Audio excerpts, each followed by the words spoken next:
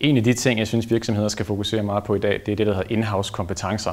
Fordi der er rigtig mange, der laver virksomhedsstrategier på Facebook og på sociale medier og laver community-strategier og alle mulige ting for øjeblikket, som ikke har gennemtænkt, at det er medarbejderne, der skal sidde med det her i sidste ende, og det i virkeligheden er dem, der skal sørge for, at det bliver en succes. Hvis ikke man har forankret det her sådan dybt ind i organisationen, så er ens succesrate formentlig noget lavere, end hvis man gør det.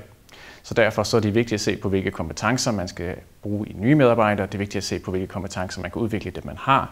Og det er vigtigt at sørge for, at de ting, det er noget, man virkelig udarbejder indenfra. Og det er også vigtigt, at det er noget, som hele tiden bliver udviklet løbende, fordi Facebook forandrer sig jo meget, og det gør de så andre sociale medier også. Så derfor så er kompetenceudvikling noget, der er rigtig, rigtig vigtigt for øjeblikket, og det er noget, man skal fokusere rigtig, rigtig meget på.